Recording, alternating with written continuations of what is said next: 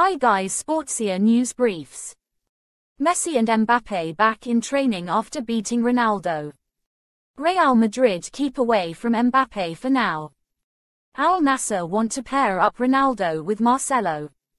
Chelsea join Real Madrid and Barca in fight for Malo Gusto. Transfer gossip.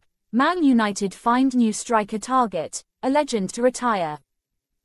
NFL Eagles blow out Giants, remind everyone how dominant they have been all season. Now the news in detail. Messi and Mbappe back in training after beating Ronaldo. Riyadh season faced Paris Saint-Germain in a friendly at the King Fahd International Stadium in Saudi Arabia. The clash ended 5-4 for Galtier's side despite Ronaldo's efforts. Mbappe and Messi have returned to training with PSG two days after the meeting. Deafening fireworks closed Thursday's exhibition between Lionel Messi's PSG and a composite team led by Saudi Pro League new arrival Cristiano Ronaldo, won 5-4 by the visitors. The friendly had all the trimmings of a major fixture, complete with VAR, flamethrowers, ticker tape and a medal presentation in front of more than 60,000 fans at the venerable King Fahd Stadium. Ronaldo was decked by PSG goalkeeper Navas's flailing fist but he drilled the resulting penalty and then added another in a 5-4 exhibition defeat. For Qatar-owned PSG, Messi and Kylian Mbappe both scored and Neymar missed a penalty before they withdrew on the hour mark alongside Ronaldo. Galtier's side returned to training on Saturday for their upcoming match against Pays de Cassel in the French Cup.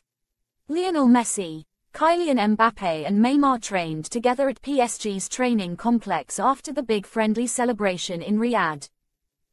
Meanwhile, Morocco international Achraf Hakimi has remained in Riyadh to attend the Joy Awards and will resume training on Sunday. Real Madrid keep away from Mbappe for now. Despite the back there had been rumors of Real Madrid approaching Kylian Mbappe in recent days, Marca denies that that contact has taken place. Real Madrid are not thinking of getting into that game as they did last season and left empty-handed. Kylian Mbappe renewed for PSG in May 2022, when everything seemed to suggest that he would play for Real Madrid.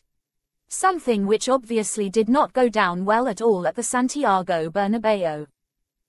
Since then, Real Madrid are keeping an eye on what is happening with the PSG striker but things have changed, Marca says. Al Nassr want to pair up Ronaldo with Marcelo. Al Nassr are not stopping in their search for stars for their team. The Saudi Arabian side, after signing Cristiano Ronaldo and having Sergio Busquets and Sergio Ramos on their radar, are now looking to bring the Portuguese striker together with one of his former teammate, Marcelo Vieira. Marcelo changed his life in the summer transfer window.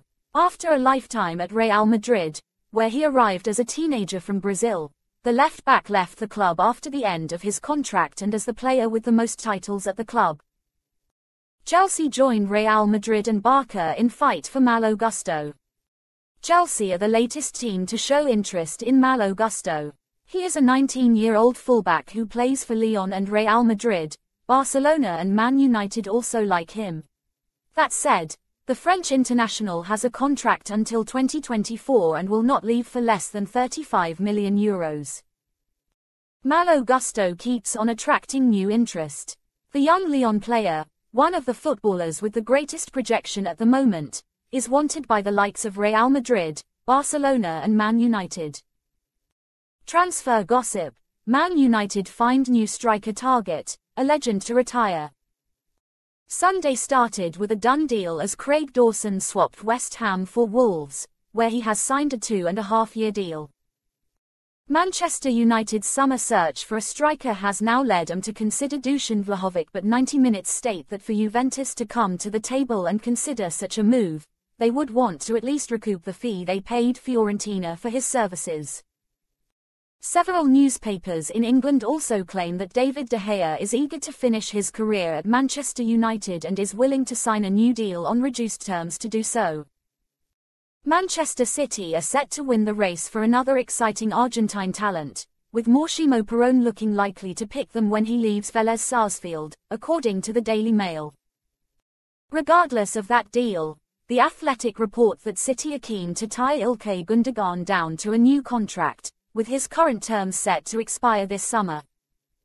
The Mirror reports that Chelsea will return with an improved bid for Brighton's Moises Caicedo after having an initial £55 million bid rejected and will go back with an offer closer to the Seagull's £65 million asking price.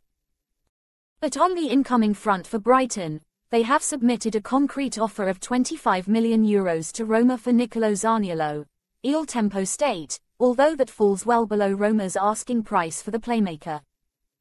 Reliable sources at West Ham claim that if Declan Rice does depart as expected this summer, with Arsenal leading the race for his signature, then Manchester United's Scott McTominay has been earmarked as his replacement. NFL Eagles blowout Giants, remind everyone how dominant they have been all season. The Philadelphia Eagles have played 16 games this season with Jalen Hurts starting at quarterback. They've won 15 of them, it seems like the NFL world forgot how good the Eagles were. The NFL gets such 24-7 attention that obvious takes get old. The Eagles have been great since week one, but there were other shiny toys to pay attention to late in the season. As the playoffs approached, you didn't hear much at all about the Eagles. It wasn't edgy to pick the Eagles to win the Super Bowl anymore. Saturday night was a reminder that the Eagles were the best team in the regular season and could be in the playoffs too. At halftime, the Eagles were up 28 points on the New York Giants, and they went on to win 38 7. Philadelphia will host the NFC Championship game next Sunday against the San Francisco 49ers or Dallas Cowboys.